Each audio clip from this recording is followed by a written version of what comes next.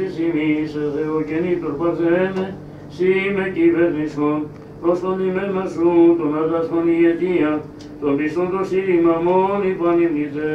Ευλογία Θεότο και σώσον ημάς, ή και Θεό παρθένε των ψυχικών ταραχών και της αθυμίας την ζάλιν διασκεδάσε μου, σε καρθεόν υπέ των αρχηγών της Γαλήνης, των Χριστών εκείσας μόνοι Πανάχαντε. Δόξα Πατρί και Υιό και Αγίο Πνεύματι, ευεργέτην τεκούσα των των καλών αιτίων, της ευεργεσίας των πλούτων πάσιν ανάβρισον, πάντα καρδίνα σε ουζίνα τον ενισχύει, το Χριστόν και ίσας Θεό μακαριστέ.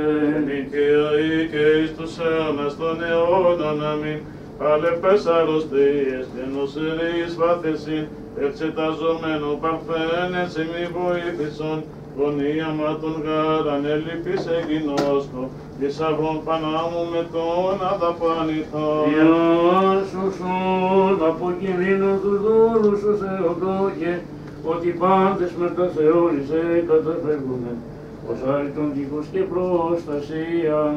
Επίβλεψον εν ερμανία πανύμνητε Θεοτόκε, επί την εμήν καλεπή του σώματος κακοσύν, και ίασε της ψυχής μου το αλφο.